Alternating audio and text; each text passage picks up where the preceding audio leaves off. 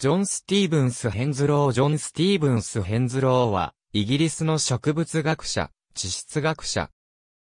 ヘンズローは、ロチェスターで、事務弁護士のジョン・プレンティス・ヘンズローの息子として生まれた。祖父のジョン・ヘンズロー卿は、ナポレオン戦争時代の造船技師であった。オックスフォード大学のセントジョンズカレッジで教育を受け、アダム・セジュウィッグが地質学ウッドワーディアン教授になったのと同じ年、1818年に卒業した。1823年に、ハリエット・ジェニンズと結婚した。彼らの娘、フランセス・ハリエットは、ジョセフ・ダルトン・フッカーと結婚した。息子ジョージ・ヘンズローは、後に、ロンドン王立園芸協会で、植物学教授を務めた。ヘンズローは幼い頃から博物学への情熱を抱いており、それは人生に大きな影響を与えた。1819年には、アダム・セジュウィッグのワイト島への調査旅行にも同行した。そこは、彼が初めて地質学の講義を受けた場所でもあった。またジェームズ・カミング教授のもとで科学を、エドワード・クラーク教授のもとで地質学を学んだ。1819年の秋に、満島の地質に関して重要な発見をした。1820年と1821年には、アングルシー島の地質の調査を行った。その報告書は、セジュウィッグとヘンズローによって創立されたケンブリッジ科学協会から出版された。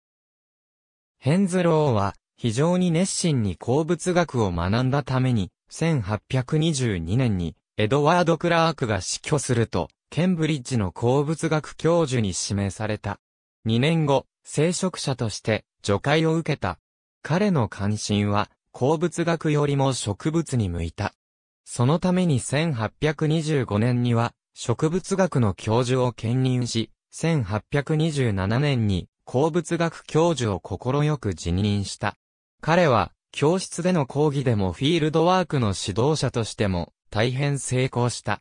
ジョン・ジェームズ・オーデューボンと文通しており、オーデューボンは、ヘンズローにちなんでヘンスロー姫鳥を命名した。1831年に、ケンブリッジ大学に植物園を開設した。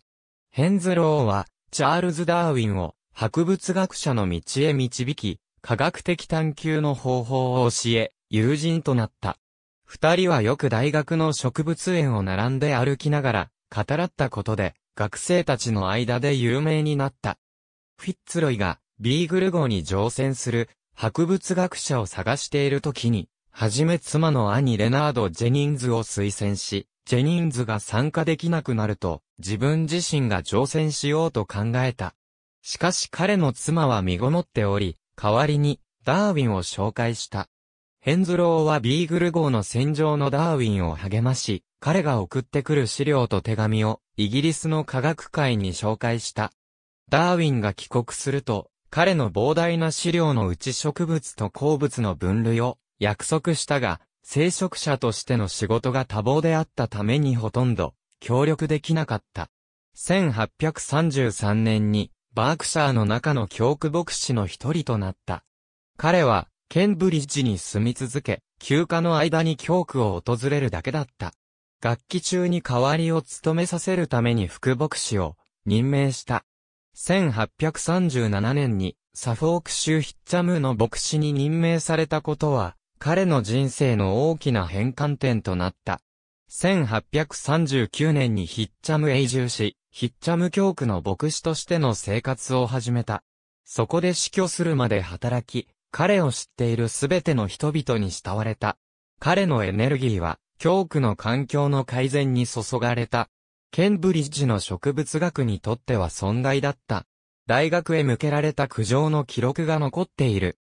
ヘンズローは、教授職を辞したわけではなく、講義や試験を受け持ち、大学の実務に関わり続けたが、それでも、彼の教育への関与が大きく減少することは、避けられなかった。ヒッチャムでの彼の仕事は、通常の牧師としての仕事以外に次のように、要約できる。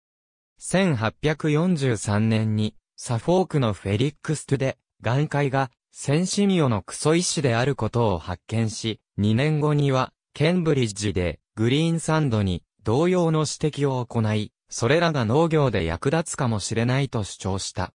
彼は利益を引き出すことはできなかったが、この発見は、サフォークとケンブリッジシャーで林産事業産業の創設につながった。ヘンズローは、ヒッチャムで死去した。彼の著作物には、イギリスの植物カタログ、記述の原則と生理学的植物学、サフォークの植物賞などがある。ヘンズルは植物の学名で命名者を示す場合に、ジョン・スティーブンス・ヘンズローを示すのに使われる。ありがとうございます。